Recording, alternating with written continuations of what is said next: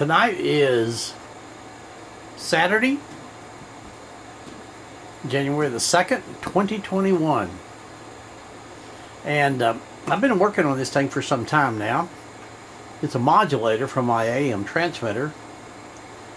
Uh, I, I, do see some videos out there on uh, YouTube about building your own AM transmitter and, and what have you, but you've got to build different parts of it.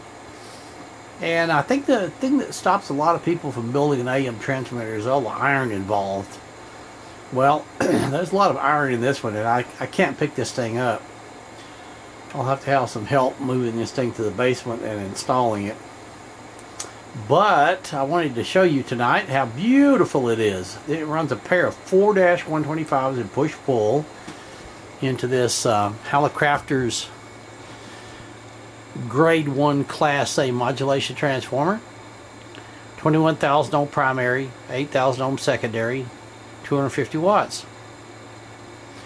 It's going to modulate my uh, James Millen amplifier that runs a pair of push-pull 811s I've already got it on the air and modulating it in kind of a strange way with a McIntosh amplifier in it using a, uh, a backward connected so to speak uh, audio transformer, but I wanted to do it right and uh, show you. I'm not going to be able to show you underneath it tonight because it's just it's too just too heavy for me to manipulate this thing by myself.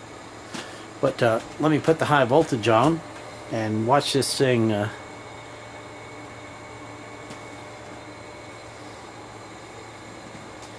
light up there. You can see the, the plates turning orange. I've got a solid state relay in there so it doesn't make a big clank.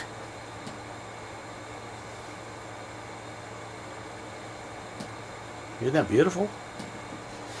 It's got a big transformer here, 2000 volts, 700 milliamp. That's this guy right there. And this trans, uh, this choke right here is out of a, like a DX100 or a or Heathkit Apache transmitter from way back when, in the early 60s.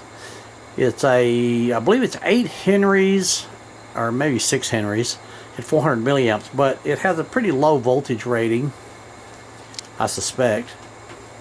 So you might notice that it's got a piece of rubber under it. I've done this before in, in, in uh, chokes. I insulate the case from the chassis. That allows me to run uh, much voltage as I want to on it. Running 2,600 volts on the plates. And that little gray uh, transformer right over there says HP on it. That is a screen and bias supply and it just provides exactly what I need. I'm using a, a 6X5 I could also use a 6AX5 and a 5R4 the 5R4 is a screen uh, provides 600 volts. Uh, the 6X5 is uh, provides the uh, bias voltage. So there it is. It's running right now. Alive and well. I got to be careful I don't get too close to it. It's always a little bit more dangerous making videos. Right here is the audio input. it's an 8 ohm to 8000 ohm audio transformer. So it's going to take a few watts to drive it, but it is this amplifier is running class AB1. It's not it doesn't have the grid to screen uh, all strapped together and, and running in some sort of a zero bias triode operation. So there you go. I'll have to uh, make another video of it when I start showing the uh, audio fans that I have, how it performs. And, uh, but I wanted to make a video of it tonight. Hopefully 2021 will be a whole lot better than 2020 for us and the world. Uh, Happy New Year and, and stay safe, my friends.